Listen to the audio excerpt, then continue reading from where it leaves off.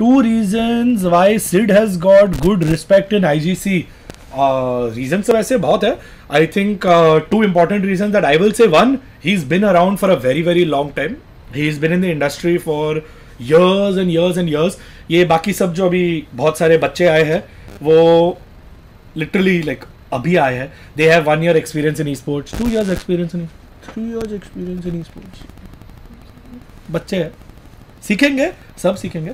Sid has a more experience he been your lot longer and I think second he speaks is mind he is very transparent उसको घंटा फ़र्क पड़ता है कि सामने कौन है या who is on the other side he just says what's on is mind now that's a good and a bad thing in Sid's case is good because what's in is mind is clear and pure and his intention are right otherwise for someone who has no filter if your intention are wrong and मन में ही सही बात नहीं है तो वही बाहर निकलती है।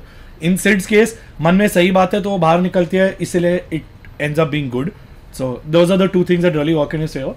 That he's extremely honest and transparent and speaks his mind, has good intent inside, and has been in the gaming industry for a very very long time.